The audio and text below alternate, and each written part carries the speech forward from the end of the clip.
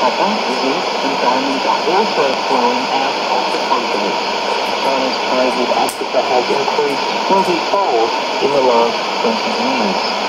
Initially, much of the trade was one way and some labelled China as being colonialist.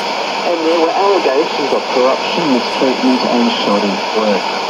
Professor He says that view is driven by Western powers and is now outdated. A blessing. It improves African people's living standards and creates business opportunities. It's not forced the face of mutual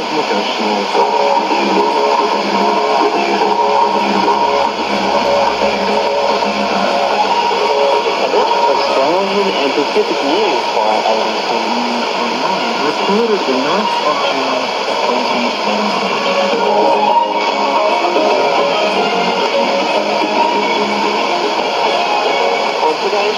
playing all electronic music. So let's start off with a Australian Princess. The song is called Surrender from their album